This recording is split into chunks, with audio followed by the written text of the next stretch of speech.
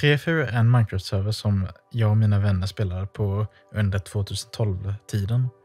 Jag spelar in. Det är en server som betydde väldigt mycket för mig. För att jag älskade allting med den servern. Jag älskade världen, jag älskade städerna, jag älskade terrängen, jag älskade communityn. Det var en speciell tid som var väldigt rolig enligt mig. Tyvärr finns inte den världen kvar efter att när Jakob Jaftell stängde ner servern så försvann den på något sätt. Däremot är inte hoppet över helt att den finns kvar. Han laddade upp världen som han kunde ladda ner den för. Tyvärr finns inte den sidan kvar längre, som man kan ladda ner den. Men någon måste ju ha laddat ner den på den tiden.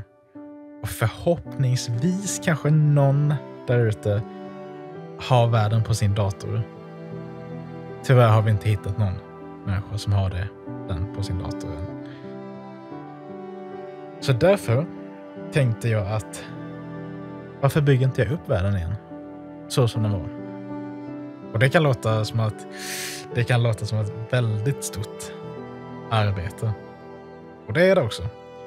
Och jag har gjort det en gång tidigare. Jag byggde upp städerna. Och terrängen. Det som blev dåligt i det försöket var att eftersom att jag började bygga terrängen själv så blev den ganska konstgjord. Och jag kan inte bygga upp hela världen. Det skulle ta alldeles för lång tid. Så det blev liksom bara det som är vid städerna och sen kuttades det av liksom. För ett tag sedan så hörde jag talas om något som heter reverse seed engineering. Och fråga mig inte ens vad det, vad det är för någonting, för jag vet inte ens hur det går till. Men om jag förstår det rätt så ska det handla om att man hittar saker i världen, som en Minecraft Dungeon till exempel. Vilka koordinater Dungeonen ligger i och hur golvet i Dungeon ser ut. Jag tog kontakt med den här människan och jag blev indragen i en Discord. Och där fanns det en community som var experter på detta. Så de hjälpte mig med detta. Och de fick fram tre, fyra sidan.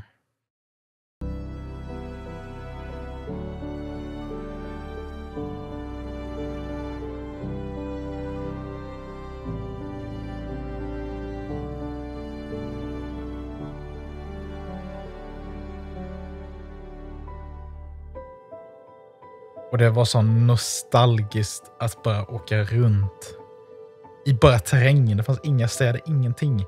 Det var bara terrängen var så nostalgisk att se liksom. Så jag skulle kunna göra ett bättre försök den här gången att bygga upp 3-4. Och det är det jag hade tänkt mig med på 3-4. Och det står för projekt återställa 3-4.